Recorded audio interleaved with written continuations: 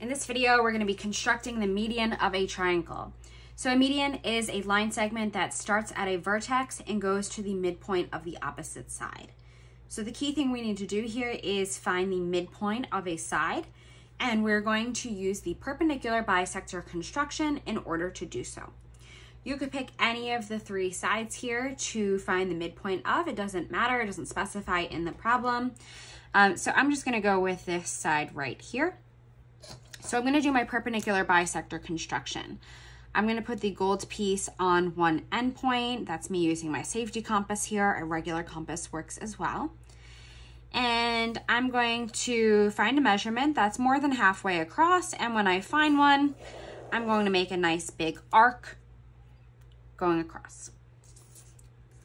Then I'm going to reverse this and I'm going to use that same measurement And the goal is for our two arcs to intersect. If they do, we are going to line up a straight edge nicely. And we are going to connect them.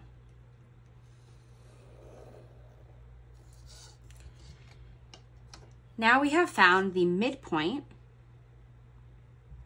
of one side of the triangle.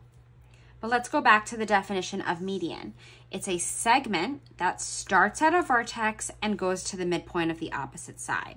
So I'm going to use this vertex up here because that's opposite the midpoint we found. Use a straight edge again. We're gonna connect that vertex and that midpoint. And that line segment that we just drew, that is the median of this triangle.